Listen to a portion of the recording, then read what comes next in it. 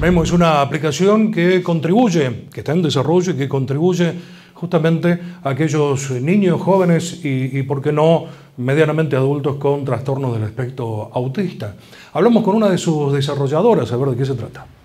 Sí, estamos desarrollando una aplicación que se llama Memo, que colabora en la rutina y en la comunicación de las personas, nos gusta decir, no los niños, eh, que tienen trastorno de espectro autista. Sí, porque el niño luego se convierte en, adulto. Sí, y porque en realidad puede adaptarse, eh, más allá de que nosotros hacemos foco en colaborarle a los niños en esta primera etapa temprana, eh, puede seguir utilizándose.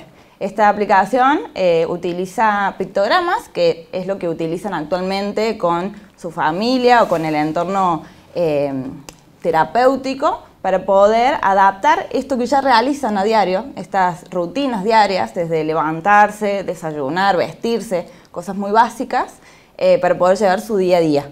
A su vez se complementa con em, un sistema alternativo de comunicación para las personas que no tienen desarrollo verbal y permite el vínculo entre el entorno, entre los familiares y entre nada, sus mismas amistades, ¿no? su círculo íntimo.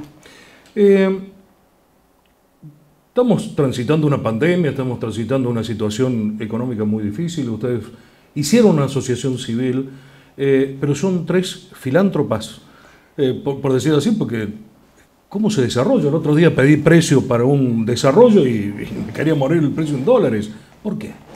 En realidad empezó como un proceso de tesis eh, y después de eso, como diseñadoras, nos enamoramos.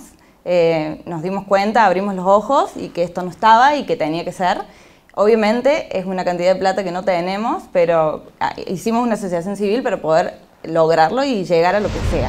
Entonces buscamos eh, sí, subsidios y algo, alguna forma de financiación porque queremos que las personas que tienen este, este trastorno puedan llegar a, tener consigo esta herramienta que es tan necesaria.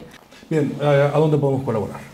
Nosotros nos pueden encontrar en nuestras redes, es la forma más fácil de llegar, memo.tea eh, tenemos una página web que también está el, link eh, ahí directamente en nuestras redes. Siempre estamos muy atentas, así que cualquier cosa eh, estamos ahí.